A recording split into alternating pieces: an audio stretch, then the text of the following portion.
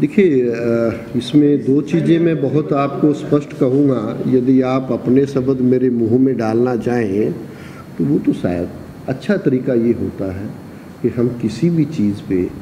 चर्चा करते हुए, क्योंकि इसमें बहुत सी ऐसी चीज़ें हैं जो आपको एक सेंटेंस में या दो सेंटेंस में नहीं बताई जा सकती। और उसी के लिए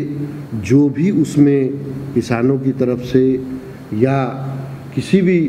स्तर पे थोड़ा बहुत लगता है कि ये मेरे लिए ठीक नहीं है। उसको जब तक हम समझ ना लें, जाँच ना लें, उसके बाद ही यदि पत्रकारिता में कोई खबर जाएगी तो हम सब के लिए फ़ायदेमंद कहीं कन्फ्यूज़न की परिस्थिति ना आ जाए, उस चीज़ को ध्यान में रखते हुए हम इसकी चर्चा करके और निश्चित रूप से आप तक इसका पूरा बात पहुंचाएँगे।